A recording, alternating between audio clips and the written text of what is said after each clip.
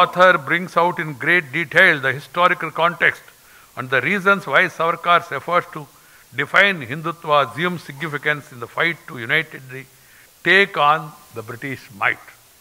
My dear youngsters, there were many facets of Veer Savarkar's personality that remain underappreciated.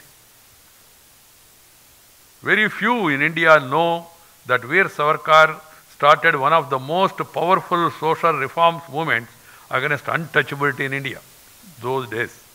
He built Patit Pavana Mandir in the Ratnagiri district to allow entry to all Hindus, including Dalits, at that time. Criticizing the caste system, Veer Savarkarji has said, to achieve social revolution, we first have to strike at the birth-based caste system and bridge the differences between the various castes.